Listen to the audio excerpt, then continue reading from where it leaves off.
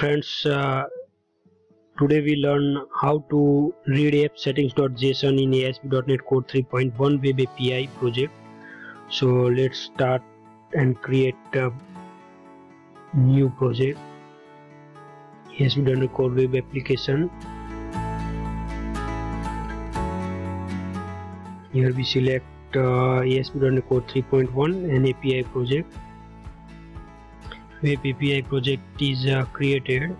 So we have uh, app settings.json so let's add some settings here in the file. And uh, in startup.cs we have a configuration uh, property. So to get SQL connection string we can directly add configuration dot get connection string. And here we need to add key of particular key of connection string section. So here we can get connection string. Now the question is how to read app settings and email settings. So for that let's create two new classes and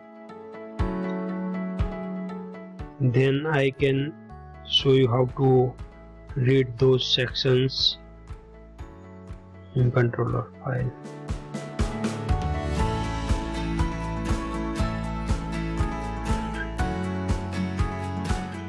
Email settings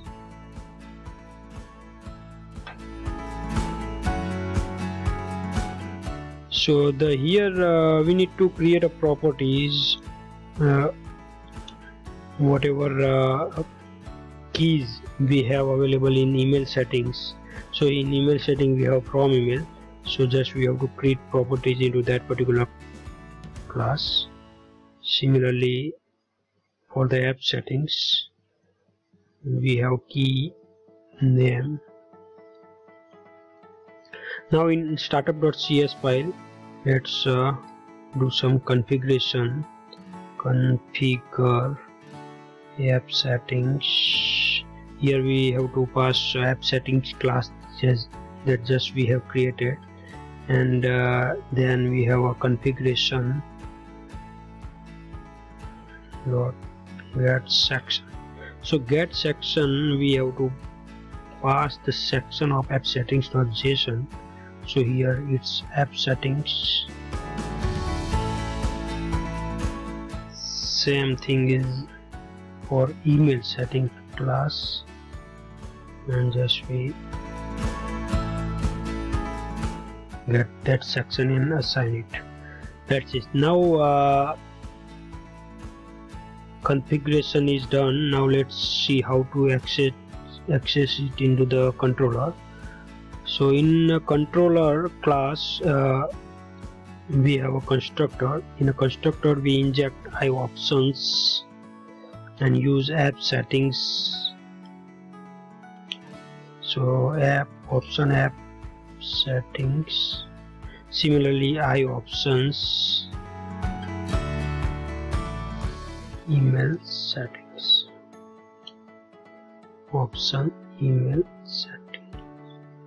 Now let's create uh, two new properties. Read-only properties. App setting app setting and private. Read-only email settings email setting. Now let's assign this in a constructor from the injection value email setting is equal to options. Option email setting. Not value now we can access this in a action method like this key. Email. From email. Email settings dot from email let's uh, add a breakpoint here and here.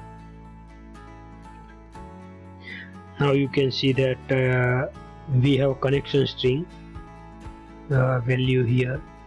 So we have that set up in uh, appsetting.json now let's uh, run it and uh, see it in a control action method.